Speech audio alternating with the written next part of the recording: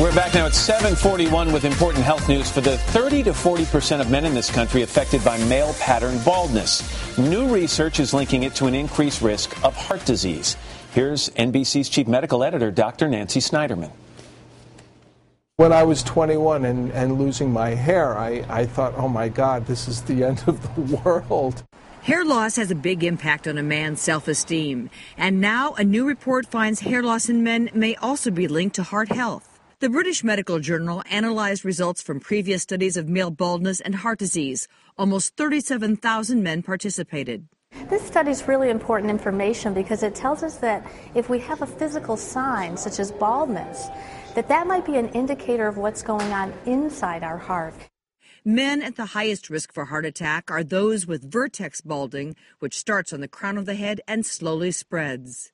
While the reason for the link is unclear, checking patients with male pattern baldness could increase the ability of doctors to detect problems before a cardiac episode.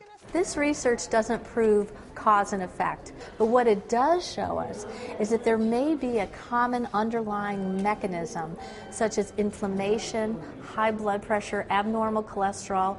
These may be the things that lead to both heart disease and baldness. An established link that could give hope to preventing a hidden but dangerous problem. For today, Dr. Nancy Snyderman, NBC News, New York. Dr. Roshini Raj is a Today contributor and assistant professor of medicine at the NYU Langone Medical Center. Dr. Raj, good to see you. Nice to see you. Guys are going to see this. They're going to get on the phone this morning. They're going to call their cardiologist and make an appointment. Is that the appropriate response if they're the guys losing their hair? Right. Well, I always encourage men and women to talk to their cardiologist about their risk factors for heart disease and make sure blood pressure, cholesterol, and glucose are under control. But should bald men panic?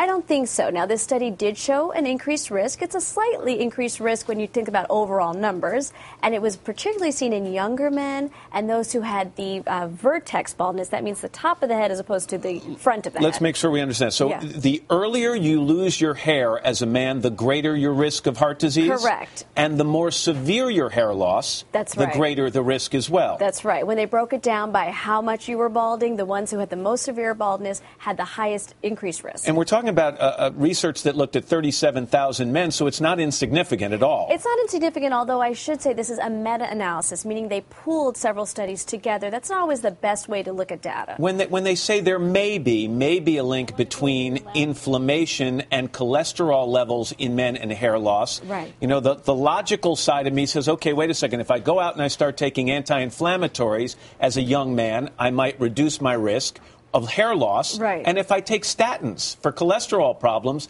I might also reduce my risk of hair loss. Well, it's interesting. You know, minoxidil, which is one of the most common treatments for hair loss, started out as a high blood pressure medicine. So, yes, there are probably common links between the causes of heart disease and baldness and the treatments, but I think it's still too soon, just based on this study, to say all bald men should now start taking an aspirin. They should definitely talk to their doctor about other reasons why they may want All to right, take so let's it. just make sure we simplify it at the end here. Yeah. For someone who suffers from male pattern baldness, and I know a guy like that, what should the takeaway be? The takeaway should be that you are most likely at somewhat of an increased risk for heart disease. You should talk to your doctor about your other risk factors and make sure those are under control. Dr. Roshini Raj. Doc, thanks so much. Thank